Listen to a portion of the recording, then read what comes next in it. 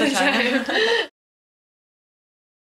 there was a girl in Tokyo who was like doing drugs every night and was out till like five in the morning and then would go straight to a job and not sleep for three days and you see that and you're you just not like they're not doing their job because your job is to be healthy and to be professional and to do the best you can to keep your body in the best shape and she just wasn't but she was beautiful and she was booking so much work.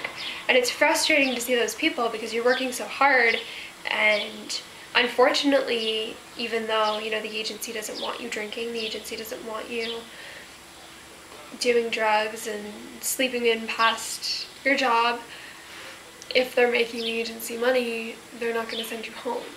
So unfortunately, there aren't really repercussions in that kind of industry because if you're working, you're working. It doesn't matter if you're a horrible person. Unfortunately, just, that that's just like the nature of it, and it sucks. And I like to say that most people who are successful have gained that with some professionalism, but it doesn't apply to everybody.